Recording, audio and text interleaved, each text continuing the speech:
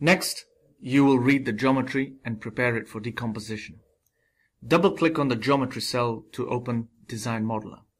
Select Millimeter from the Units menu. Import the geometry file as shown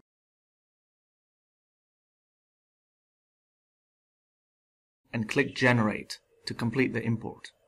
Now you'll provide inputs required for decomposition. Click the IC Input Manager located in the IC Engine toolbar and select the options and values as shown. The fuel spray location is specified by providing values for the height and radius. Here, the height is the location of the spray from the combustion chamber flame deck. Note that the Validate Compression Ratio option will create additional crevice volume to ensure corrected compression ratio. Since the valves will be closed during the combustion phase, the valves don't need to be modeled. However, to create and decompose the combustion chamber, the valve bodies and their valve seats need to be selected as shown. After all the inputs are completed, click Generate.